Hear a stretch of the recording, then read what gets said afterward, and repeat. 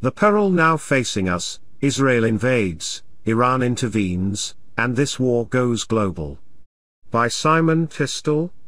Calls for restraint are right but unlikely to be heeded. A conflict setting Israel and the US against Iran has rarely seemed closer. Published, October 16, 2023. The foremost concern of Western governments as the Israel-Hamas war enters a murderous second week is not the plight of Palestinians in Gaza. It is the alarming prospect of a swiftly spreading conflict pitting Israeli and US forces against Iran and its militia proxies. Recent, ominous signs suggest a rapid deterioration. Iran holds the key. The two issues are intimately connected. Arab leaders told Antony Blinken, the visiting U.S. Secretary of State, that unless Israel's mass casualty attacks on Gaza cease, the war may escalate uncontrollably. If the Zionist aggressions do not stop, the hands of all parties in the region are on the trigger, warned Iran's foreign minister, Hossein Amir Abdollahian. But Israel will not be stopped. A high-risk, full-scale ground offensive into northern Gaza is imminent. Most Western leaders surely wish it wasn't happening. Even James Cleverly, Britain's seriously clueless foreign secretary, has belatedly urged restraint.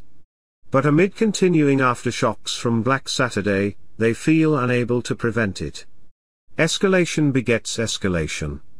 The US says its decision to deploy a second aircraft carrier group in the eastern Mediterranean is intended to bolster Israel's security and deter any state or non-state actor from widening the conflict. That vague wording conceals a world of anxiety about a possible head-on collision with Iran.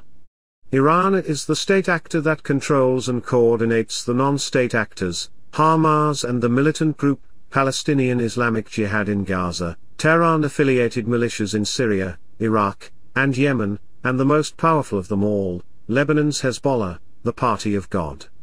This is what Iran's supreme leader, Ayatollah Ali Khamenei, calls the axis of resistance. Iran undoubtedly views the additional deployment as an American escalation. It appears to be placing its militias on notice that new war fronts may soon open up.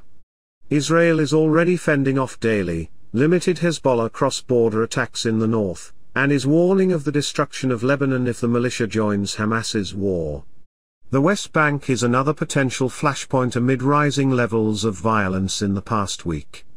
In a further heightening of tensions, Israel is accusing Iran of deploying new weapons in or through Syria to create a second front. Syria claims Israel bombed Damascus and Aleppo last week. What is Iran's plan, assuming it has one? What does it want? These questions hold the key to the war.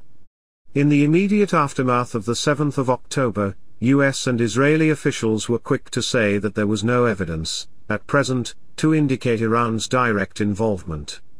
Too quick, perhaps? The suspicion was they wanted to avoid full-on confrontation at that very fraught juncture.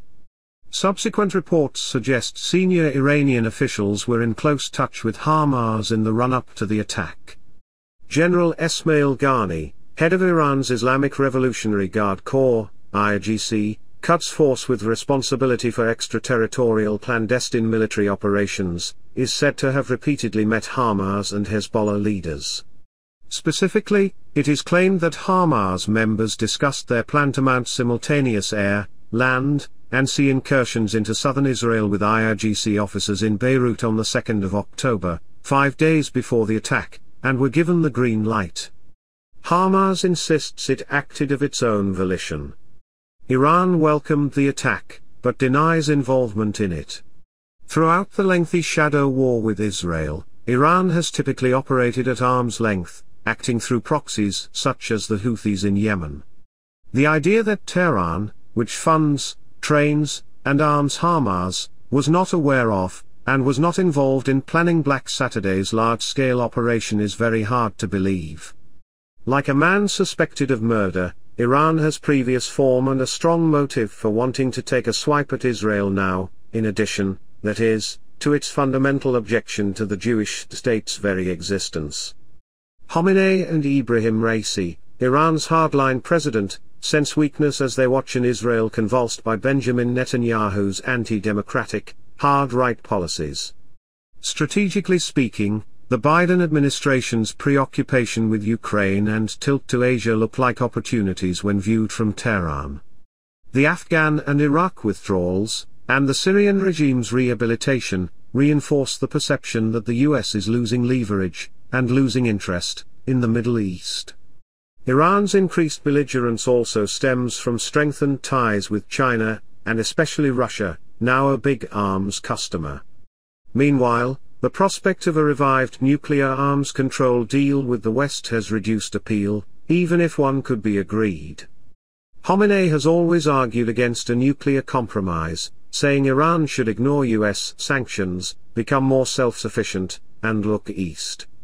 Hamas's leader, Ismail Haniyeh, when trying to justify the 7th of October attack, cited offensive transgressions near the site of the revered Al-Aqsa Mosque in Jerusalem, chronic Jewish settler violence and land grabs in the West Bank, and the 16-year blockade of Gaza. Iran's leaders are not so crazy as to support Haniyeh's extreme call for international jihad and a wider war with the West. After recent turmoil at home, Khamenei is no fan of popular uprisings. But he did have another urgent reason to act. The trend towards normalization of relations between Arab states and Israel is anathema to Tehran. It especially hates the prospect, thought to be imminent, of an Israel-Saudi deal backed by US security guarantees. Normalization has the potential to isolate Tehran politically and economically, unraveling its dreams of regional hegemony. The 7th of October attack has shifted the balance back in Tehran's favor. Public opinion in the Arab world is furious about Gaza. Sensing the mood, the Saudis have put the Israel deal on ice. Significantly, Raisi and Saudi Arabia's Crown Prince, Mohammed bin Salman, held their first ever talks last week.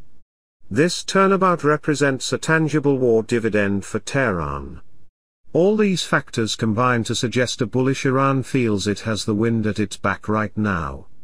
Whether this newfound confidence, combined with a dangerous underestimation of Israeli and American resolve, will induce Tehran to recklessly up the ante in the coming days is now the central question in this mega crisis. A confrontation setting Israel and the US directly against Iran has rarely appeared closer. As Netanyahu keeps saying, this is just the beginning. The war with Hamas could be about to go global. Simon Tisdall is a foreign affairs commentator. He has been a foreign leader writer, foreign editor, and US editor for The Guardian. This podcast was brought to you by BG Media App and barglobal.net. Please subscribe, like, and share this video. It does help support our productions. Also, please download the BG Media app to access the best works of the world's authors rendered in audiobooks, along with great experience through music podcasts, and vodcasts.